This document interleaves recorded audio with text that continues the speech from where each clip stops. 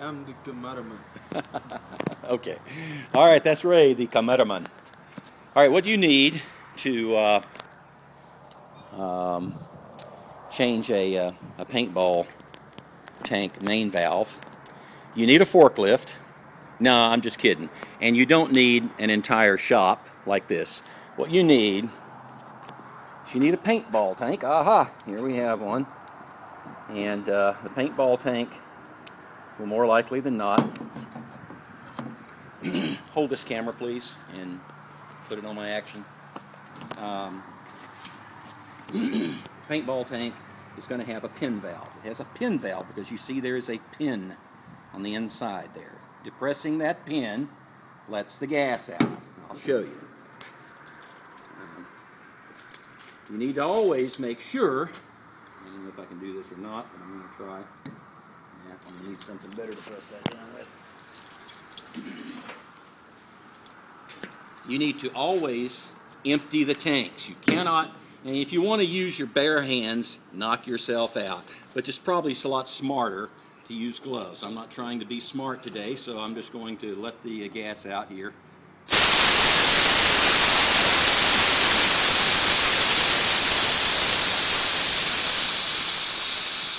So I'm just bleeding the tank. And as you can see, if you get a close-up on here, you can see that this is well frosted up. Okay, this gets very cold. The gas uh, boils in the tank at about 100 degrees below zero Fahrenheit. So anyway, it gets very, very, very, very cold. And you want to make sure that you bleed your tank completely. Now you can't rush over here with a wrench and go taking this off. That is not possible. These tanks are uh, built so that the valves go in extremely tightly to keep your average Joe guy from, you know, opening this thing while there's pressure in the tank and this coming out like flying like a bullet and, uh, you know, blowing a hole in his head or something. That's not what you want. But if you got a pin valve and you want to replace that pin valve with a nice uh, on-off valve, an on-off valve allows you to turn the gas on and turn the gas off. It does not have a pin. There's no pin. You turn the gas on and off with this knob. So we want to get this valve out and put this valve in. The tools that you need are, you need a strap wrench. Strap wrenches wrap around the tank and allow you to get a good grip on the tank and turn it. You need a vise, like this vise. you need to carefully put the pin valve uh, the hex fitting of the pin valve in the vise. All right, and get yourself a good uh, a good grip on it. Get a shot from over here, Ray, so you can. No, over here. You need. You come over here. There you go. All right. Make sure they can see that there's uh, a possible interference there, so you can be careful. This uh, little uh, nut sticking out the side is a 3,000 psi pressure release valve. So if the tank ever got to 3,000 psi, the, the, excess pressure would bleed out this pressure relief valve. It's much like a pressure relief valve on your hot water heater, designed to uh, blow before your whole tank blows, okay?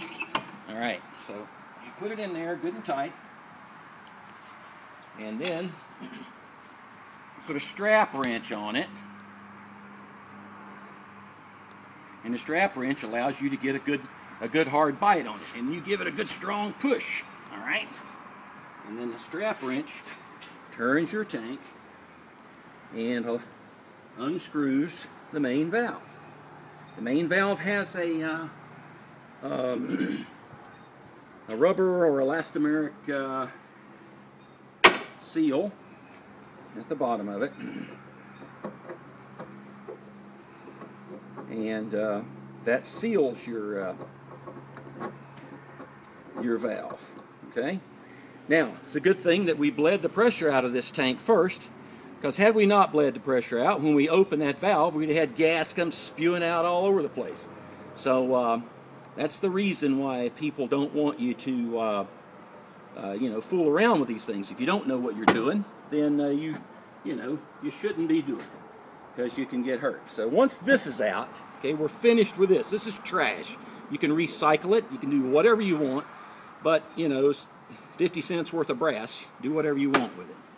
Now we get the uh, the on-off valve, like I told you, there's a little uh, sealing ring on all of these valves. So this sealing ring here will do the do the job that it's supposed to do once this is installed on the tank. So screw this in there. Get a, get a decent shot on it, right? Okay. And again now, this is not something you're going to go after with a wrench and try to tighten it up. It ain't going to happen. You got to tighten this one on with a vise and the strap wrench, just exactly like the other. And you got to be careful. You don't want to hit your uh, your little exhaust 3000 K kpsi or uh, uh, 3 kpsi uh, pressure relief valve. That's there for a purpose to keep your tank from blowing up if it got too much pressure inside. So carefully, we'll put this in, and I'll make sure that the vise jaws are not coming in contact with the pressure relief valve. And uh, it's clear to me that they're not. Let me see that for a moment. And uh, you can see that I do have some clearance here between the pressure relief valve and the jaws of the vise. All right, This process. Okay, so you tighten this up then uh, with your hands. I'm going to tighten your vise up. You put the strap wrench back on. And when you do put strap wrench on, you should go uh, close to the bottom rather than way up here at the top. It's better if you don't torque the, uh, the whole thing. So uh, we're going to tighten up a little more here. Really push. Let me get my strap wrench adjusted a little better here. Okay. All right, see if I can do this really, really tight. Really putting the torque to it. Okay. There we go. Take it out of vise. And now you have a properly installed on-off valve on your tank. You turn this on to open it, turn it off to close it.